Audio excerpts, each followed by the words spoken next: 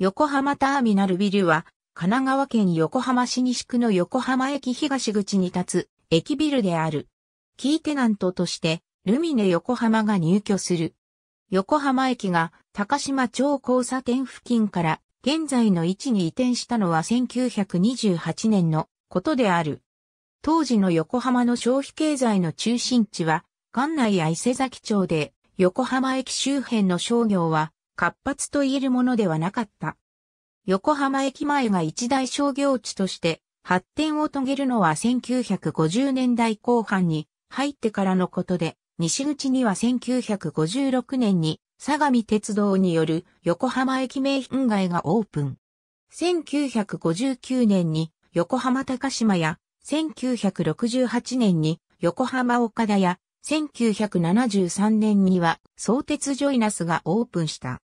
東口では駅のすぐ前に国道が通っているため開発用地に限りがあり、商業施設の進出は遅れていたが、1960年に横浜駅東口開発審議会が設けられ、1968年に横浜スカイビルがオープンした。大規模な商業施設の進出は1980年代に入ってからになる。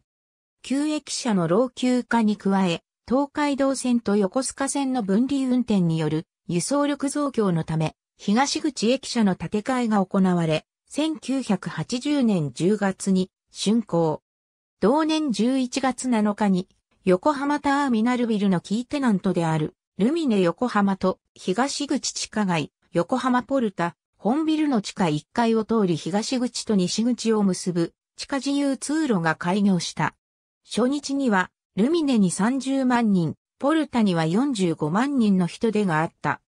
しばらくは売り上げは芳しくなかったが、1985年に横浜新都市ビルのキーテナントとして横浜総合が開業すると、ルミネとポルタの売上高も上昇に転じた。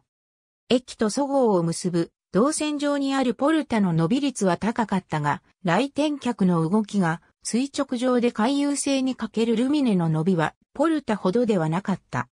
2009年には歩行者用デッキは、マミライウォークが開通し、横浜駅と港未来地区を結ぶ歩行者動線に接することとなる。軟弱地盤かつ鉄道近接工事という難事業でありながら、6ヶ月間の既存駅舎除却工事を含め22ヶ月の短期間で建設された。外装は白い磁気タイルを打ち込んだカーテンウォールで仕上げられ、地下1階の自由通路と横浜ポルタとの接続部は、ガラスの大屋根のある吹き抜けとなっている。線路に沿ってやや長い平面を持ち、両サイ部に避難階段と非常用エレベーターを配置して2方向の避難経路を確保している。本建物は、1982年に建築業、協会主催の第23回 BCS 賞を受賞している。地下2階から地上9階まで約200店のショップが出店する。ありがとうございます。